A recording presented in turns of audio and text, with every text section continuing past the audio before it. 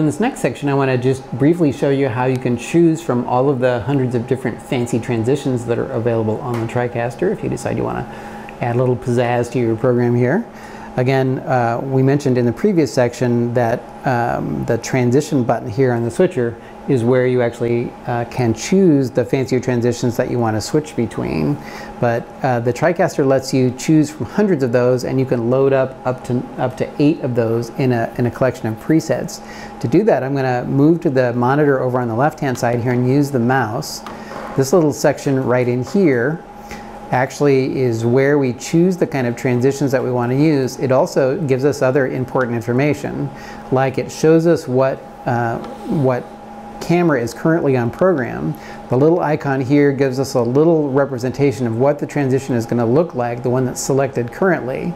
And then the time length of the transition, how fast or how slow it's going to happen is selected here as well. You can adjust that with the mouse as well as that knob that I showed you previously.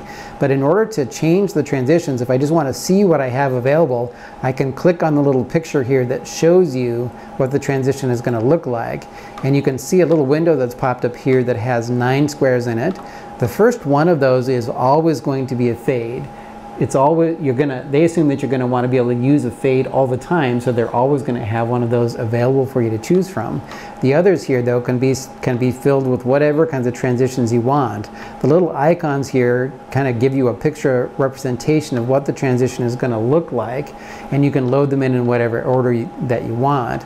In order to do that once I pop up that little menu so I'm going to click on the little picture again and then if I hover over any one of the, the nine little squares here, remember you can't change number one, so I'm going to hover over space number two, slot number two, and when I hover over it with the mouse you can see the little white plus sign appears in a circle there. If I click on that, it pops open a menu which is all the different choices of transitions that you have. The category on the left hand side over here are the different kind of subcategories of transitions that you have available. I can scroll up and down this list with a little scroll bar on the side. But if I choose one here, it shows me several different variations of that kind of transition over here.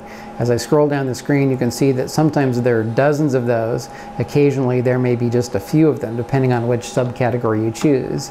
So if I want to load up one of these from the category here that says blinds, you can see that these are sort of horizontal versions of what looks sort of like Venetian blinds, or they have diagonal versions uh, slanting to the right or slanting to the left, or they have vertical versions of those.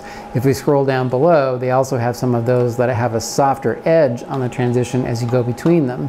So you can see that there's a bunch of choices just in this one subcategory. If I double click on one of these or single click on it and then click the OK button in the lower corner, it'll now assign that transition to that particular slot.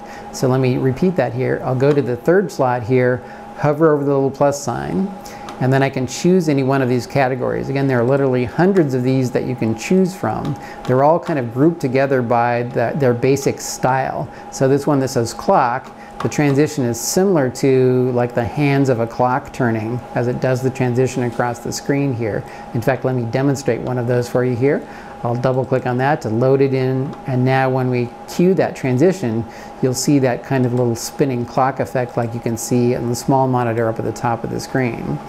So I'll click on that again to bring up my, my collection. And now let's say that I want to load something a little more complicated in down here. If I scroll down below, there are some fancier fades, for example. And I won't go through all of these because again, there are hundreds of them that you can choose from, but it's fun to go and look through some of the different shapes and fancier transitions they have. And then the really fancy ones are down here at the bottom. There's a collection here that says animation stores. And these are far more elaborate kinds of transitions. You see these colored pictures instead of the kind of single color ones that you were seeing before. So if I choose one of these and then click on it or double click on it to assign it to that, now this transition is like a shutter opening and closing on a camera. And again, there are just hundreds of those fancier transitions you can choose from. I'll load up a couple of them here so that you can see them. So they have explosions and um, guitars flying across the screen. If you're doing a, a, a music show or something like that where you want to have a little bit fancier transition that you can use in your program. The speed of those is also adjustable in the same way that we adjusted the speed earlier. So here you have a laptop that closes up and flies off the screen to make the change. There's even, if you should be needing it ever, the alien hand that, that comes in and grabs your picture and snatches it away like that.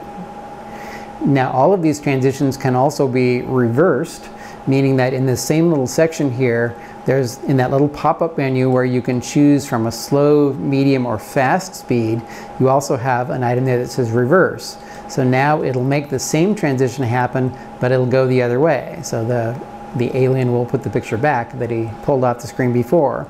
Or if you've chosen one that has a direction of some sort that moves from left to right on the screen or right to left on the screen, you can reverse the direction of that. So in one way, the, the guitar flies across the screen backwards like that.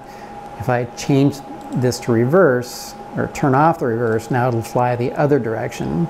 There's a third mode in there called ping pong, which will actually let you make it go a different direction each time you do it. So the first time it'll go forward, the next time it'll go backwards.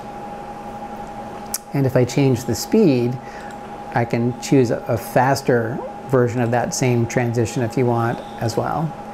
So those are some of the ways that you can choose between many of the hundreds of different cool transitions that are available in the TriCaster. Let me insert a little, insert a little editorial comment here cuts and fades are pretty standard in programs and you see them used a lot, but these fancier transitions can actually be distracting if you use them too much.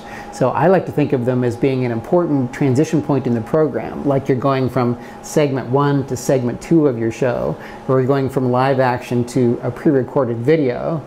Um, it's, it's useful then to use those kinds of fancier transitions as a way of saying, here's something different than what you've been seeing before. But remember, probably most of your transitions should be cuts and fades.